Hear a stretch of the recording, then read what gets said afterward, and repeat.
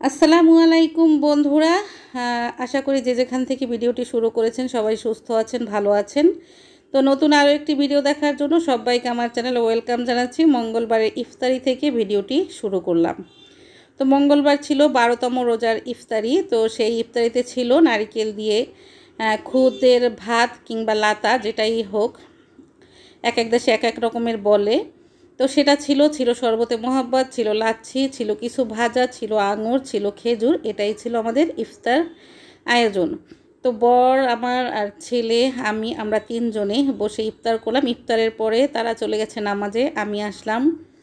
প্রথমেই একটু আগরবাতি জ্বালিয়ে নিচ্ছে, কারণ আগরবাতির ঘ্রাণটা আমার কাছে খুব ভালো লাগে। সেজন্য আগরবাতি জ্বালিয়ে নেই। তারপরে হলো নামাজ শুরু করব। তো বন্ধুরা, যে যেখান থেকে ভিডিওটি শুরু করেছেন, আশা করি সবাই সুস্থ আছেন, ভালো আছেন। সবার সুস্থতা এবং শুভকামনাই। বরাবরের মতো নতুন, আজও আরেকটি ভিডিও আপনাদের সঙ্গে শেয়ার করলাম। আশা করি আজকের এই ভিডিওটি আপনাদের কাছে ভালো লাগবে। যদি ভালো লাগে থাকে, তাহলে অবশ্যই একটা লাইক দিয়ে শুরু থেকে শেষ পর্যন্ত দেখবেন এবং আমার সাথেই থাকবেন। তো আমার বাবা সোনারা ঘুমাইতেছে দুইজনে, আর আমি হলো রান্না বিকেলবেলা করিনি, আর আজকে নামাজের পরে রান্নাগুলো করব। তো প্রথমেই পালং শাক ধুয়ে রেখেছি। এখানে চিংড়ি মাছ পেঁয়াজ কুটে রেখেছি। চিংড়ি মাছ দিয়ে পালং শাক রান্না করব। আর হলো চিকেন, এটা কেটে ধুয়ে একদম পরিষ্কার করে রেখেছি। তো আজকে চিকেনটা কীভাবে রান্না করি সেটাও একটু শেয়ার করতেছি। প্রথমে কড়াই চাপিয়ে এলাচি, লবঙ্গ, দারুচিনি তেলের ভিতরে দিয়ে দিলাম। তারপর দিয়ে দিচ্ছি দুইটা কালো এলাচ কিংবা বড় এলাচ। দিয়েছি সামান্য জয়ত্রী। আর সাদা মুরগি, এটা হলো ফার্মের সাদা মুরগিটা। এই মুরগিটার ভিতর একটু জয়ত্রী দিলে খেতে খুব ভালো লাগে, কিং কালো এলাচ। এই সমস্ত মশলা দিলে এই মুরগিটা খেতে ভালোই লাগে। তারপর পেঁয়াজ কুচিটা দিয়ে আমি ভেজে নিচ্ছি, আর এখানে আমি সরিষার তেল দিয়ে রান্না করতেছি। তো পেঁয়াজটা কিছুক্ষণ ভেজে নেওয়ার পরে আমি এখানে আদা রসুনের পেস্ট আর আদা, রসুন, জিরা, রাঁধুনি জিরা একসঙ্গে পেস্ট করা, সেইগুলোই আমি তিন টেবিল চামচ দিয়ে দিলাম। তিন টেবিল চামচের একটু কম আছে, এই পরিমাণ দিয়ে দিয়েছি কারণ আমার মুরগির পরিমাণটা একটু বেশি। তো মশলাটা আমি একটু কাঁচা গন্ধটা বের হওয়া পর্যন্ত একটু ভেজে নিচ্ছি আর ওই পাশের চুলোয় আমার শাকটা আমি একটু নেড়ে নিচ্ছি। তো শাকটা কিন্তু আলু দিয়ে রান্না করতেছি, পালং শাক আমার বেশি একটা পছন্দ না। কারণ পালং শাক আনলেই দেখা যায় প্রচুর সার দেওয়া থাকে, খেতে তেমন ভালো লাগে না। কিন্তু আমার গতকালকের পালং শাকটা খুবই টেস্টি ছিল, খুব মজা ছিল। তো এখানে আমার মশলাটা থেকে যখন তেলটা ছেড়ে আসছিল, তখন আমি এখানে পানি দিয়েছি, কারণ গুঁড়া মশলাগুলো এখন অ্যাড করব। তো প্রথমেই আমি দিয়ে দিচ্ছি দেড় চা চামচ হলুদের গুঁড়ো, আর দিয়ে দিচ্ছি দেড় চা চামচের মতো মরিচের গুঁড়ো। তারপর দিয়ে দিচ্ছি এখানে ধনিয়ার গুঁড়ো তারপর দিয়ে দিচ্ছি স্বাদ মতো লবণ। তো এইবার আমি মশলাটা ভালো করে নেড়ে চেড়ে কষিয়ে নেব। আর মশলাটা আমি খুবই ভালো করে কষাবো, কারণ আমি মুরগির গোষ্ঠটা ভেজে নেই নাই। অনেক সময়ই মুরগির গোষ্ঠটা ভেজে নেই। আর এখন যেহেতু রমজান মাস, রোজা রাখার পরে এই মুরগিটা ভাজলে আরও মানে একটু মানে শক্ত শক্ত টাইপের হবে, সেই জন্যই ভাজলাম না। তো আজকে কাঁচা গোস্তটাকেই আমি ভালো করে কষিয়ে রান্না করব। তো মশলাটা আমি অনেকক্ষণ কষিয়েছি, যতক্ষণ না তেলটা ছেড়ে দিয়েছে। তো তেলটা যখন উপরে উঠে এসেছে, তারপরে আমি গোস্তটা দিয়ে এখন ভালো করে নেড়ে চেড়ে কষিয়ে নেব। তো আমি এখন ঢাকনা দিয়ে ঢেকে রাখছি, আর পাশের চুলায় আমার শাকটা আমি ভালো করে সেদ্ধ করে নিচ্ছি। আর পালং শাকটা রান্না করতে বেশি একটা সময় লাগবে না। শাকটা বসিয়ে আমি জাস্ট গোষ্ঠটা কষিয়ে কষিয়ে নিচ্ছি। এর ভিতর কিন্তু শাকটা হয়ে গেছে। আর এক পাশে আলুটা দিয়েছি। এগুলো এই পদ্ধতিটা আমার মায়ের। আমার মা শাকের ভিতরে একটু আলু দিলে এক সাইড করে দেয়।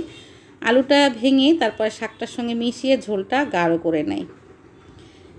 তো আমাদের দেশে কিন্তু এই পালং শাকটা এভাবে রান্না করে খায়। আর কোন দেশে কী রকমের খায় আমি তো জানি না। আমি আমার দেশেরটাই শেয়ার করলাম।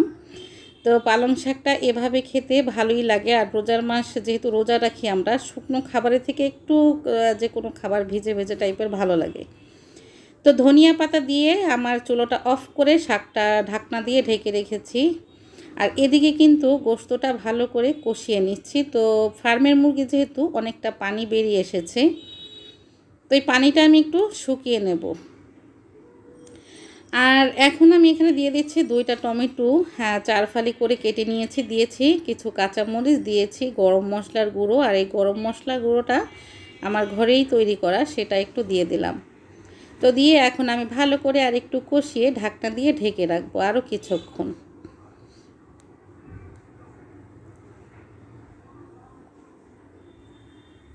তো এবার ঢাকনাটা উঠিয়ে নিলাম। আসলে পানিটা ততটাও শুকোবে না, গোস্তটা কিন্তু অলরেডি অনেকটাই সিদ্ধ হয়ে এসেছে।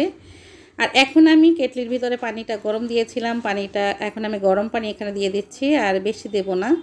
জাস্ট অল্প একটুই দেব কারণ গোস্তটা অনেকটাই সিদ্ধ হয়ে এসেছে। এখন এই পানিটুকের ভিতরে আরেকটু সিদ্ধ করে নামিয়ে নেব। তো এই মুরগির ভিতরে একটু টমেটো দিলে হ্যাঁ খেতে খুবই ভালো লাগে।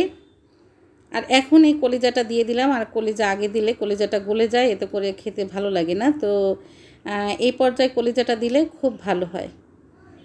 তো রান্না অলরেডি করা শেষ, আর কারেন্ট চলে গেছে। এই যে আমি মোম জ্বালিয়ে নিয়েছি, মোম জ্বালিয়ে আপনাদের সঙ্গে শেয়ার করতেছি যে আমার রান্নাটা কেমন হয়েছে। এই ছিল আমার চিকেন রান্নাটা, আমি কীভাবে রান্না করি আপনাদের সঙ্গে একটু শেয়ার করলাম। কারেন্ট নাই, সেই জন্য বেশি একটা ভালো দেখাচ্ছে না। তারপরেও আমার মোবাইলের লাইট দিয়েই প্লাস, আরও হলো মোমের বাতি দিয়েই আপনাদের সঙ্গে শেয়ার করলাম। তো এটাই হবে আমাদের সেহেরির খাবার, তেরোতম সেহেরির। ইনশাআল্লাহ এটা দিয়ে আমরা সেহেরি খাব। তো সেহেরি থেকে আবার ভিডিওটা শুরু করলাম। এখন সেহেরির সময় হয়ে গেছে, আর ওদিকে আমার বর টেবিলটা গুছিয়ে নিচ্ছে, আমি নামাজ ছেড়ে নিয়েছি। তারপর এখন সেহেরি খাব ইনশাআল্লাহ। তো এই যে চলে আসলাম ডাইনিং রুমে। এখন খাব। তো আমার বর কিন্তু অলরেডি খাবার দাবার রেডি করে নিয়েছে। এই ছিল আমার আজকের ভিডিও শেয়ারিং আজকের মতো এখানেই বিদায় নিচ্ছি। কথা হবে নেক্সট কোনো ভিডিওতে ইনশাআল্লাহ। আসসালামু আলাইকুম আল্লাহ হাফিজ।